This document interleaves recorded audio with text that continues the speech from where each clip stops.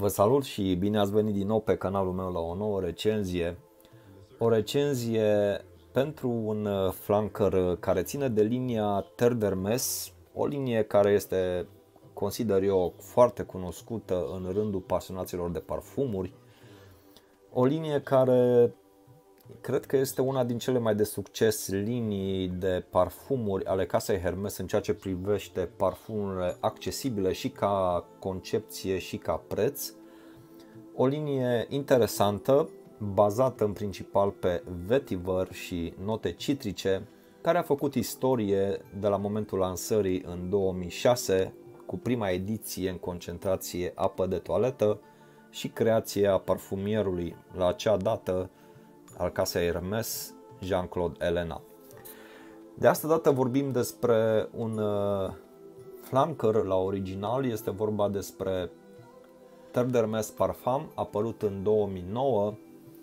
un uh, parfum uh, în concentrație de apă de parfum într-o singură cantitate de 75 de ml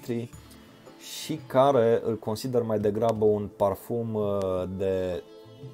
tot anul, care poate fi purtat în fiecare anotimp fără niciun fel de problemă, comparativ cu Terdermes clasicul sau originalul, care era mai degrabă un uh, parfum dedicat exclusiv sezonului cald.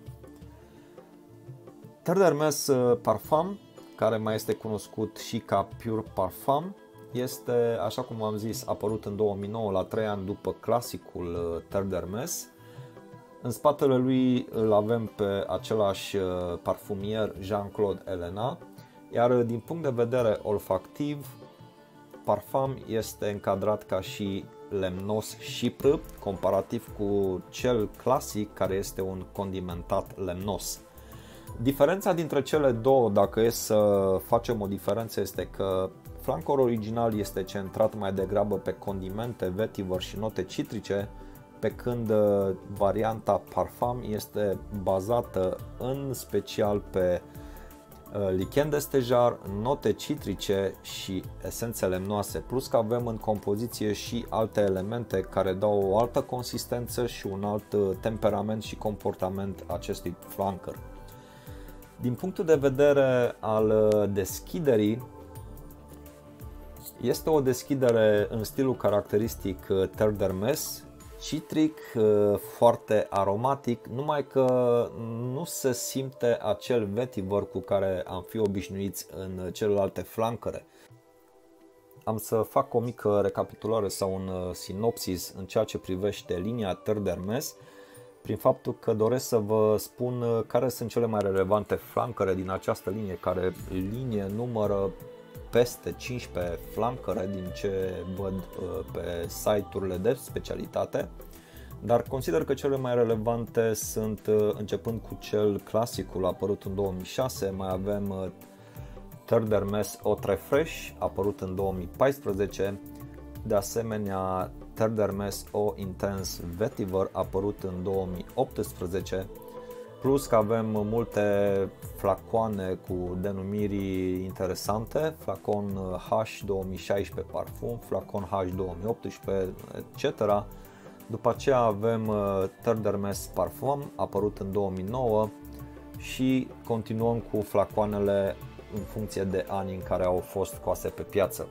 dar multe informații găsiți fie accesând site-ul Terdermes, fie accesând uh, site-urile de specialitate, Base Notes, uh, Fragrantica sau Parfum.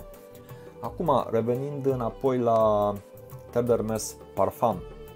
v-am spus că există diferențe între clasicul uh, Terdermes și cel de, de față de aici, în ceea ce privește și deschiderea și compoziția. Dacă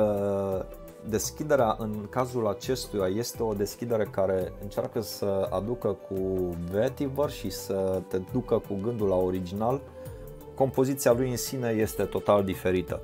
Îl consider un uh, parfum mult mai dens, îl consider un parfum mult mai uh, cizelat. Din acest punct de vedere, notele citrice nu sunt chiar așa de efervescente ca și în cazul clasicului sau în cazul originalului apărut în 2006 avem note care pur și simplu dă o senzație rășinoasă ca urmare a rășinilor benzoice, De asemenea, uh, lichenul de stejar uh, îi dă o anumită liniaritate și așează parfumul mult mai frumos, îl face mult mai cizelat, asperitățile sunt reduse aproape la perfecțiune, plus că avem și piatra de cremene care îi dă o nuanță un pic minerală și uh, pudrată acestui parfum. Una peste alta sunt diferențe notabile între clasicul Terre d'Hermes și varianta Parfum și consider varianta Parfum o variantă mult mai upgradată, updatată, luați-o cum vreți din acest punct de vedere și ca urmare a compoziției și ca urmare a caracteristicilor comportamentale, felul cum se manifestă parfumul din deschidere până către final. Plus că avem și note diferite care sunt foarte bine așezate și foarte bine legate între ele, astfel că toată tranziția parfumului se face frumos. Uh, pot să-i spun liniar, dar într-o liniaritate să-i spun eu foarte plăcută, care e incitantă în același timp și nu e monotonă de asemenea. Din punctul de vedere al compoziției, dacă e să ne uităm după notele care se regăsesc în compoziție, deschiderea parfumului este dată de către notele citrice, avem uh, portocală și grapefruit, în inima parfumului avem uh, piatra de cremene, iar în baza parfumului regăsim uh, rășinile benzoice, lichenul de stejar și notele lemnoase. Nu sunt note multe, e un parfum, consider eu, destul de simplist, ca și compoziție, însă miroase suficient de interesant astfel ca să nu-l caracterizăm ca un parfum simplu sau banal. Miroase totuși plăcut, așa cum am zis, e un parfum pe care îl consider mult mai uh, dedicat uh, în a fi purtat uh, all season, deci în toate anotimpurile, fără niciun fel de problemă, trecând ca și vestimentație, dacă e să mă refer în ce conjunctură vestimentară poate fi purtat, Ehm, nu, nu l-aș băga neapărat la un casual, dar de la un smart casual categoric. E un parfum suficient de versatil, dar și suficient de uh, elegant ca să meargă purtat la o ținută cel puțin smart casual în sus. Deci de la un smart casual și poate chiar și la o ținută business poate fi purtat categoric fără niciun fel de problemă. Ca și vârstă îl văd uh, aplicat peste 25 de ani. Este un parfum care dă totuși o notă masculină matură ca urmare a notelor de lichen de stejar și a notelor lemnoase, plus că rășinile benzoice îl fac un pic mai uh, elevat ca și vârstă pentru cel care ar dori să-l poarte. Este un parfum care poate fi purtat ca și parfum semnătură, poate fi purtat la serviciu, după serviciu dacă sunt situații unde un parfum mai elegant și mai cu ștaif se cere, acesta ar fi cazul să fie purtat și în acele conjuncturi. Din punctul de vedere al prețului, uh, cel de față l-am achiziționat uh, din duty free din Otopeni. La momentul achiziției am dat pe 80 de euro, deci preț de retail se duce undeva la 100 de euro, 110 aproximativ. Ceea ce îl face ca și încadrare preț versus uh, cantitate într-o plajă superioară a parfumeriei, dacă e să ne referim așa. În aceeași linie cu Dior uh, O Sauvage, cu Dior Fahrenheit parfum sau cu Dior Homme parfum. Dacă e să compar uh, și să aleg un preferat dintre Terre d'Hermes clasicul și Terre d'Hermes parfum, n-aș putea să spun că aș alege pe vreunul dintre ele pentru că amândouă sunt parfumuri totuși diferite și au aplicații diferite. Unul văd mai degrabă un parfum de sezon cald, e vorba de clasic, pe când acesta poate fi purtat în orice anotimp, ca atare le consider diferite și din prisma al uh, versatilității și prin prisma compoziției și prin prisma performanței, pentru că Terre d'Hermes clasicul, cel puțin în cazul meu, performează mult mai bine comparativ cu Terre d'Hermes Parfum. Ca atare, nu pot să le uh, cataloghez să spun că aș alege unul din ele, nu, pot să spun că amândouă sunt parfumuri de sine stătătoare, cu temperament uh, ușor diferit, care nu deviază sau care conțin același tip de ADN specific liniei Terre d'Hermes și nu pot să aleg